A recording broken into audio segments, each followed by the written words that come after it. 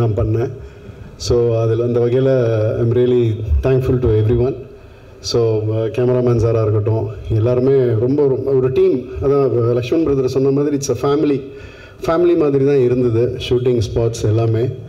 So locations Naren சாராக இருக்கட்டும் Kingsley எல்லாருமே வந்து உண்மையில் சில சீன்ஸ்லாம் நரேன் சாரும் ஹீரோ சாரும் பண்ணும்போது ரொம்ப டச்சிங்காக இருந்தது. நான் இன்றைக்கி கூட இப்போ உட்காந்துட்டு ஈவினிங் கேட்டேன் சார் உங்கள் சீன்ஸ்லாம் பிரமாதமாக வந்திருக்கு சார் வந்திருக்கணும் அப்படின்னு. தெரியல அப்படின்னு. ஸோ அதனால் ரொம்ப ரொம்ப ரொம்ப இன்ட்ரெஸ்டிங்காக இருக்கும். ரொம்ப மனசை டச் பண்ணுற மாதிரி நிறைய விஷயங்கள் இருக்குது ஸோ டெஃபினட்டாக ஃபேமிலி ஆடியன்ஸ் எல்லாருக்குமே ரொம்ப பிடிக்கும். So once again I wish all good luck to our team so இந்த படம் மிகப்பெரிய வெற்றி அடையணும்னு நான் ஆண்டவன் நினைக்கிறேன் நன்றி வணக்கம். ஷூட்டிங் போகும்போது பார்த்தீங்கன்னா இது வந்து ஒரு சாதாரண படம்லாம் கிடையாது. சாதாரணமாக சொல்கிற மாதிரி ஒரு படம் அப்படின்ற மாதிரி சொல்கிற பகிரதமாக ஒரு பிரயத்தனப்பட்டு உ- உழைச்சி எடுத்த படம் தான் சொல்ல முடியும். ஏன்னா ஒவ்வொரு இடத்துலையும் போகும்போது அந்தந்த இடத்துலையும் வந்து ஆக்சுவலி ஆஸ் யூஷுவல் ஹேமந்த் வந்து நோ காம்ப்ரமைஸ் அந்த ஒவ்வொரு சீன் சொல்லும்போது அவங்களோட எனர்ஜி அதை பண்ணணும் இதை பண்ணணும் அப்படின்னு சொல்லிட்டு பண்ணும்போது அது எல்லாமே கொஞ்சம் ஷெட்யூல் மீறாகி கொஞ்சம் எக்ஸ்டெண்ட் ஆகி அப்படி அப்படியே போயிட்டு இருந்தது. அப்புறம் as usual Sasikumar sir hero சாரை பற்றி தெரியும். ஏன்னா நான் நிறைய நடிச்சிருக்கேன் அவர் கூட. எதுவுமே பேச மாட்டார். எது வந்தாலும் ஓகே அது அது மாதிரி ஹீரோ பார்க்குறது கஷ்டம். வந்து என்ன இது என்ன பண்ண போகிறாரு என்ன இதுதானே பண்ண போகிறோம் ஓகே அவ்வளோதான் ஏன்னா ஒன் முறை அப்படியாப்பா? ஆ சரி ஓகே ஓகே அந்த மாதிரி ஒரு கோஆப்ரேஷன்லாம் சான்ஸே இல்லை. ஸோ இது மாதிரி அவர் ஹீரோ பக்கம். அவர் கணேஷ் கேமராமேன் வந்து அவரும் நோ காம்ப்ரமைஸ் ஏ இல்லை இல்லை இது வேணாம் இது இன்னும் கொஞ்சம் டைம் எடுத்து தான் இது பண்ணணும் அப்படின்னு ஒரு பெரிய அந்த டீம் பூராவே பார்த்தீங்கன்னா ஒவ்வொருத்தரும் விடா கொடாக்கண்டன் கொடா கண்டன் மாதிரி.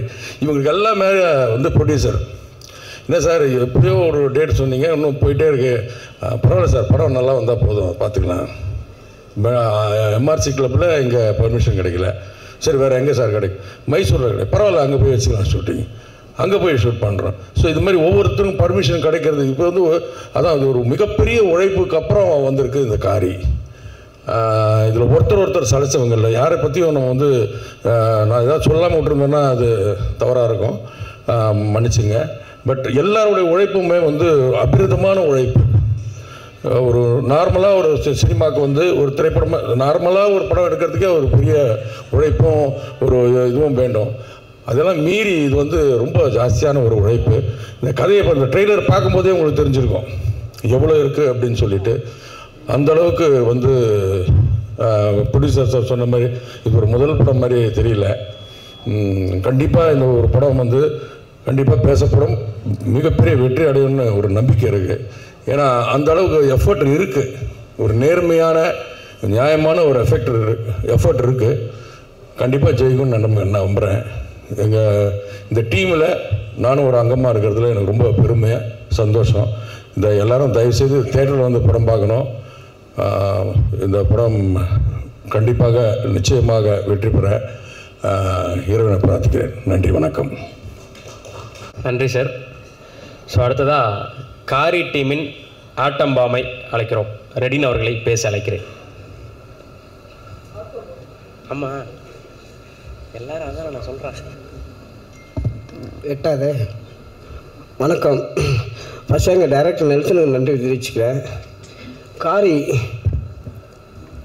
இந்த வாய்ப்பை கொடுத்த producer sir Lakshman sir ah Hemanth அண்ணன் சசி அண்ணன் எல்லாருக்குமே நன்றி தெரிவிச்சுக்கிறேன்.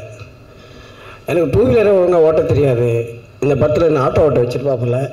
நானே கேட்பேன் கூட யார் வருவான்னா ஹீரோவோ ஹீரோயினோ பார்த்து கெட்டியமாக பிடிச்சிக்க சொல்லு. ஏன்னா ஒரு பக்கம் எழுத்து நான் குச்சிடுவேன். அவங்க எப்படி பண்ணுவாங்கன்ட்டு அதை சொல்லுவேன் அவர்கிட்ட. இல்லை இல்லை அதெல்லாம் அவங்க பார்த்துக்குவாங்க. நீங்கள் ஒழுங்காக ஓட்டுங்க வேண்டிய அப்படின்னு சொன்னார். படத்தில் நிறைய விஷயம் நடந்திருக்கு. எல்லாத்தையும் நான் உணரிடும்னு நினைக்கிறேன். இந்த வாய்ப்பு கொடுத்த எல்லாருக்குமே நன்றி. இன்றைக்கி ஆடியன்ஸ் எல்லாமே வேறு மாதிரி எல்லாமே ட்ரெண்டிங் எல்லாமே மாறி இருக்கு ஆனால் லவ் டுடே படம் இன்றைக்கி நல்லா ஜெயிச்சிருக்கு. அதே மாதிரி படம் இதுவும் இருக்கும். இது நம்ம வில்லேஜ் சம்மந்தப்பட்ட படம்.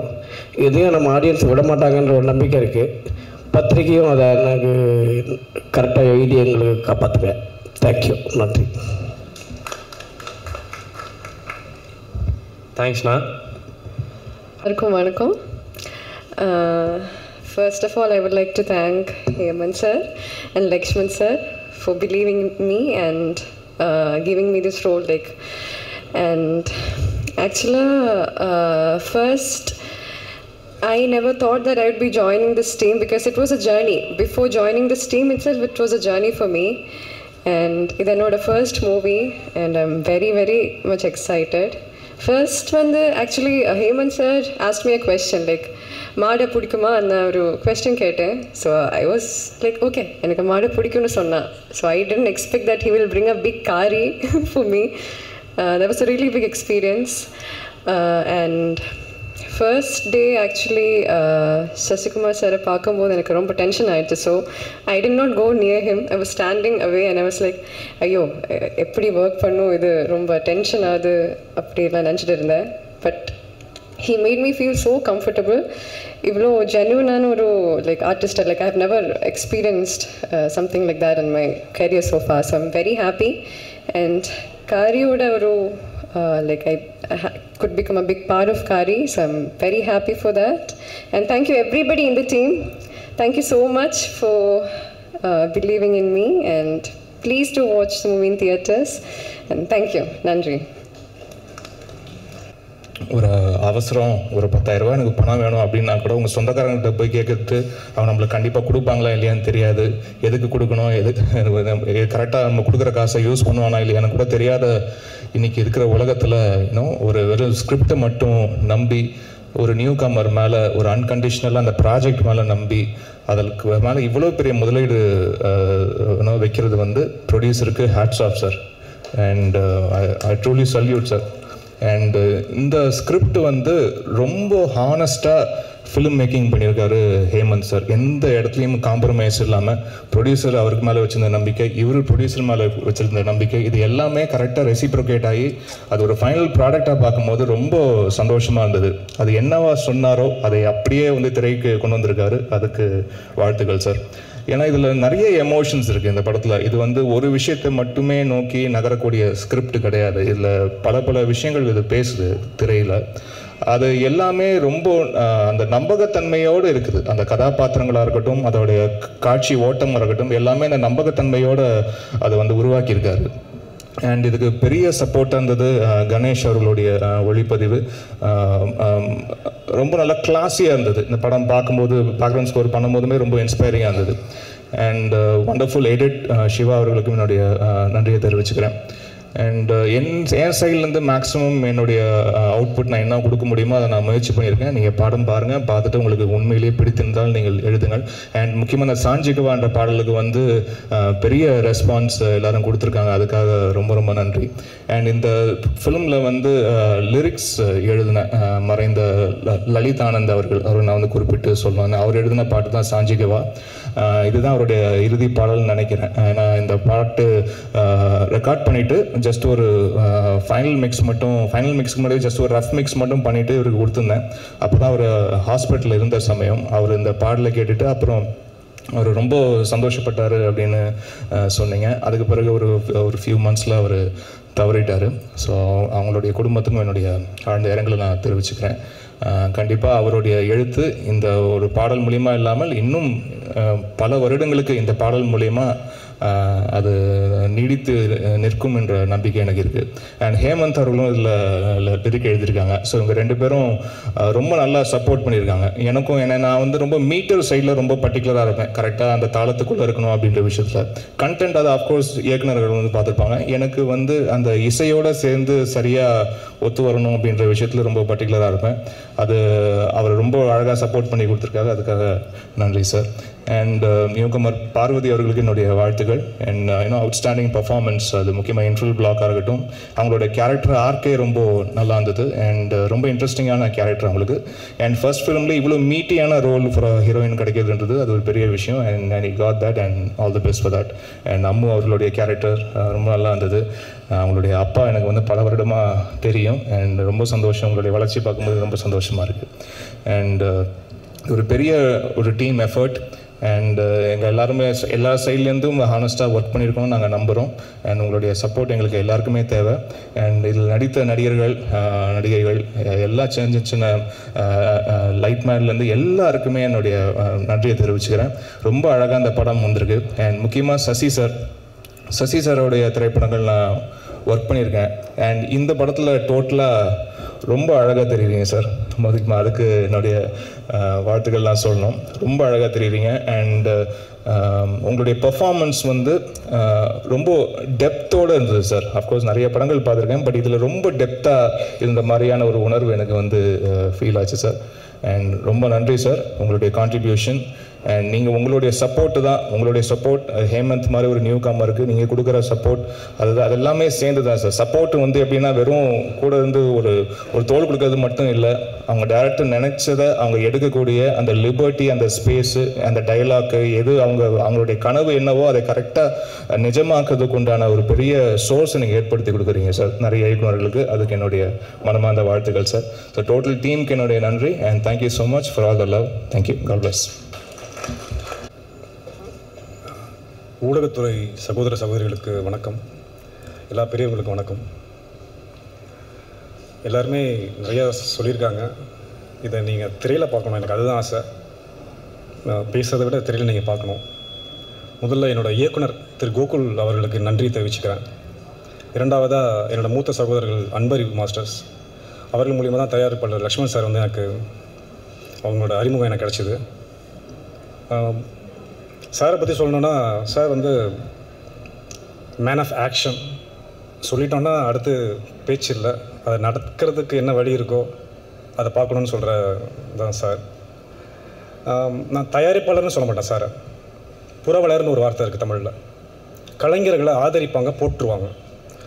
அது சார் வந்து சார் சொன்னார் உங்களுக்கு எல்லாருக்குமே. பதினேழுலேருந்து இந்த ஜேர்னி அப்படின்னு. இப்போ அப்போலேருந்தே நாங்கள் ப்ராசஸில் இருந்தோன்னா அப்போ நீங்கள் பார்த்துக்குங்க சார் எங்களை எப்படி கொண்டு போயிருக்காங்க அப்படின்னு. சிம்பிளாக சொல்கிறேன் எந்த ஒரு முதல் பட இயக்குனரும் ஒரு மனிதராக சகோதரராக தயாரிப்பாளராக சாரை மிஸ் பண்ணவே கூடாது. ப்ளீஸ் சாரை தேடி வாங்க.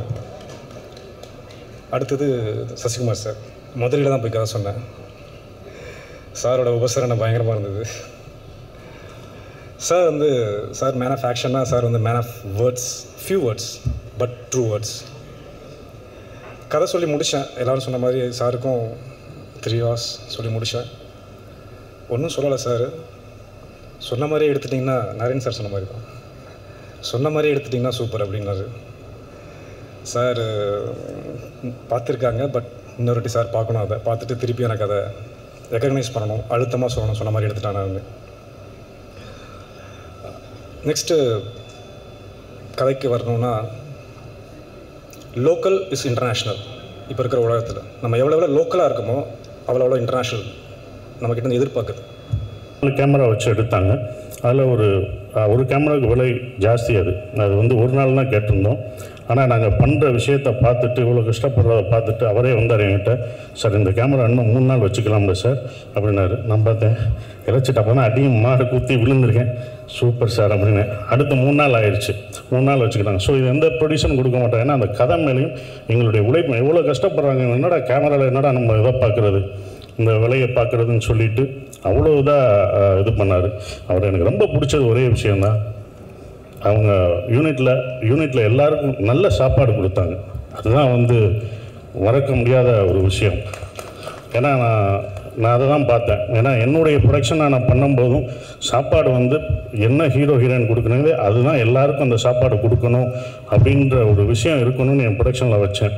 ஸோ அது வந்து இவர்கிட்ட நாங்கள் சொல்லாமலே அது பண்ணது எனக்கு ரொம்ப பிடிச்சிருந்தது.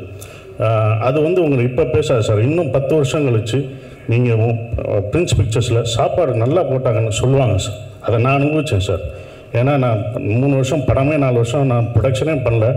டூ டி பிக்சர்ஸில் படம் பண்ணும்போது ப்ரொடக்ஷன் மேனேஜர் சொன்னார் சார் சூர்யா சார் சொல்லியிருக்காரு சசி சார் கம்பெனி ப்ரொடக்ஷனில் என்ன சாப்பிடுவாங்க அதை விட பெட்டராக பண்ணணும்னு சொன்னார். அப்போ தான் எனக்கே தெரிஞ்சு நம்ம இது இவ்வளோ தூரம் வந்திருக்கு அப்படின்றது. அதுக்கு முக்கிய காரணம் வந்து விஜயகாந்த் சார் ராவுத்தர் சார் தான். ஏன்னா அவங்களோட ஆஃபீஸ்க்குலாம் நாங்கள் போனதில்லை. ராவுத்தர் ஃபிலிம்ஸ்லாம் நாங்கள் பார்த்ததே இல்லை. போனது கிடையாது.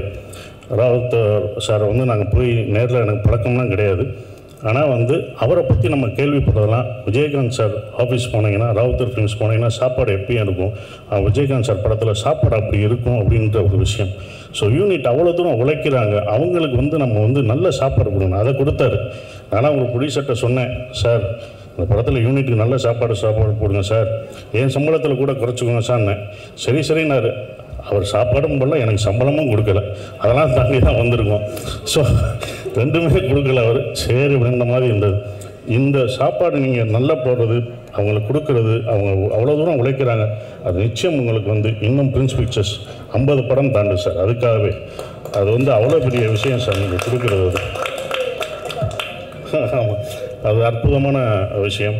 அப்புறம் இந்த படத்தில் வந்து எனக்கு கிங்ஸ்லி கூட நடிச்சிருக்காரு காமெடிக்கு. ரொம்ப ரொம்ப ஃப்ரெண்ட்லியாக நாங்கள் அவ்வளோ ஜாலியாக பேசிட்டு எனக்கு வந்து ஒரு படம் முடிஞ்ச அப்புறம் அவ்வளோ என்டர்டெயினாக பண்ணார். ஏற்கனவே ஒரு படம் டாக்டர்ன்ற வெற்றி படம் முடிச்சுட்டு வந்துட்டு அந்த இது எதுவுமே இல்லாமல் ரொம்ப சிம்பிளாக அவ்வளோ எனக்கு வந்து கூடயே இருந்தோம். நான் அவரும் தான் ரொம்ப பேசிகிட்டே இருப்போம். அது வந்து என்றைக்கும் மறக்க முடியாது. தேங்க்யூ கிங்ஸ்லி அப்புறம் வந்து பார்வதி. பார்வதி வந்து ஹீரோயினாக அவங்க காமிச்சாங்க. நிறைய ஹீரோயின்ஸ் தேடிட்டே வந்தோம். அதில் புதுமுக ஹீரோயின் காமிச்சாங்க. அப்படி தமிழுக்கு ஏற்ற மாதிரி ஒன்று இருந்தது. ரொம்ப அருமையான கேரக்டர் ஏன்னா அந்த படத்தில் பார்க்கும்போது உங்களுக்கு தெரியும். அது முதல் படமாக பார்வதி கிடைச்சது ரொம்ப நல்லா இருந்தது. அப்புறம் இன்னொன்று என்னென்னா அந்த அவர் சொன்ன மாதிரி ஒரு சீன் ஒரு எமோஷ்னல் சீன் மாடு காணா அப்படின்னு தேடுற ஒரு சீனு அந்த மாடு வந்து தேடி அழுதுட்டு இருக்கும்போது அந்த சீன் ரொம்ப அற்புதமாக பண்ணியிருந்தாங்க. நான் விளையாட்டு கூட சில சமயம் காமெடி பண்ணியிருக்கேன் படம் முடிஞ்சோடனே ஆனால் உண்மையிலேயே அது வந்து ரொம்ப அற்புதமாக பண்ணியிருந்தாங்க. அவங்க தமிழ் சினிமாவில் ஒரு நல்ல இடத்துக்கு வருவாங்கன்ட்டு வாழ்த்துக்கள் சொல்கிறேன் JD sir JD Chakravarthy sir. எனக்கு அட்வைஸ் பண்ணதும் நண்பரான ஒரு இது. அவ்வளோ படம் பண்ணியிருக்காரு. அவர் அவ்வளோ இதாக பார்த்துருக்கோம். அவர் எனக்கு ரொம்ப பிடிச்சது என்னன்னா இப்போ வரைக்கும் ஷூட்டிங் போனாலும் அவங்க அம்மாவை கூடயே கூப்பிட்டு போவார். அம்மா மேலே அவ்வளோ அன்பு வச்சுருப்பார். அதனால் நான் என்ன சொன்னேன் ஷூட்டிங் எப்போதும் எங்கள் அம்மாவும் நானும் தான் வருவோம். எங்கே ஷூட்டிங் போனாலும் அவங்க அம்மாவோட தான் வந்து தங்கியிருக்காரு. அப்படிப்பட்ட ஒரு ஆளை நான் பார்த்து ரொம்ப வியந்துட்டேன் நான். அவருக்கு என்னுடைய வாழ்த்துக்கள். ஏன்னா எனக்கு நிறைய அட்வைஸ் சொன்னார். ஒரு ஒரு சீனில் அந்த கிளிப்பிங்கே இருக்குது காலையை லைட்டாக பிடிச்சிருப்பாங்க. நான் கேமராமேனு போய் அந்த காரியை போய் தொடணும். நம்ம வந்தோடனே தைரியம் வந்துடுச்சு எல்லாம் கை தட்டோடனே சரி தொட்டு பார்ப்போமே அப்படின்னு.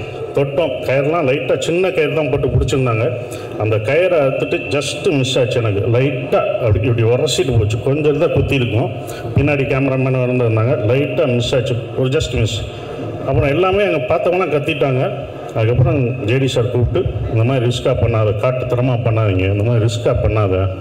சேஃபாக இருக்கணும். அப்படின்னு எனக்கு அட்வைஸ் கொடுத்தாரு. அப்படியே நான் கொஞ்சம் ரொம்ப சு- சுதாரிப்பாக நான் இருக்க ஆரம்பிச்சிட்டேன். ஸோ அவர் வந்து அந்த கைடன்ஸ் கொடுத்தார். ஒரு ஹீரோவாக ஒரு பிரதர் கொடுக்குற மாதிரி இப்படிலாம் பண்ணக்கூடாதுன்னு சொன்னார். ஸோ அவர் இந்த படத்தில் பணியாற்றினது அவ்வளோ வில்லனாக அற்புதமாக பண்ணியிருக்காரு. அவருக்கு நன்றியை சொல்லிக்கிறேன். அப்புறம் ப்ரொடக்ஷன் மேனேஜர்ஸ் பால் பாண்டியும் அவரை வந்து நான் மறக்கவே மாட்டேன். ஏன்னா என் கம்பெனியில் இருக்க மாதிரி தான். நான் பிரின்ஸ் பிக்சர்ஸ் சொல்லும்போது என்னென்னா நான் எப்படி பிரின்ஸ் பிக்சர்ஸில் என்னோட கம்பெனியில் நான் எப்படி இருக்கணும் அப்படி தான் என்னை வச்சுக்கிட்டாங்க. அதுதான் உண்மை. என் நான் ஷூட்டிங் முடிஞ்சு நான் லேட்டாக தான் போவேன். நான் போகிற வரைக்கும் இருந்துட்டு போகிற ஒரு மேனேஜர் நான் ரொம்ப நாளாக பார்க்கல. என் கம்பெனியில் தான் நான் போனவொடனே எல்லாருமே மேனேஜர்ஸ் போவாங்க. ஆனால் இவங்க பால்பாண்டி வந்து கடைசி தான் போ போவார். நான் மட்டும் இல்லை ஹீரோயின் எல்லாரும் போன பிறகு தான் அவங்க எல்லாத்தையும் அனுப்பிச்சிட்டு போகிற அந்த விஷயம் ஒரு ப்ரொடக்ஷனுக்கு ரொம்ப அவசியம். அதை அவங்க பண்ணாங்க. சாதிக்கும் பால்பாண்டிக்கும் என்னுடைய நன்றிகள். அவங்கள இருக்காங்களான்னு தெரில ரொம்ப நன்றிம்மா. அவங்களுக்கு என்ன நன்றி.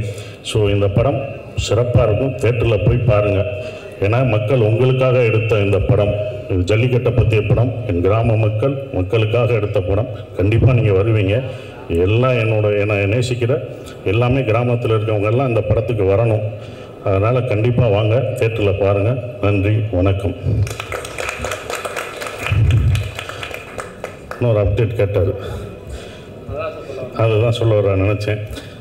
அடுத்து எப்போ போனேன்? அடுத்த வருஷம் நான் வந்து டைரக்ஷன் போடுறேன் எல்லாம் ரெடி ஆயிடுச்சு அது என்னன்றது உங்களுக்கு அப்புறம் இப்போ சொல்ல முடியாது. இதோட வெற்றி விழாவில் நான் கண்டிப்பாக சொல்கிறேன் காரியோட வெற்றி விழாவில் சொல்கிறேன் யார் ஹீரோயின் முதல் கண்டு சொல்கிறேன் எல்லாமே ரெடி ஆகிட்டாங்க நான் சொல்கிறேன் தேங்க்யூ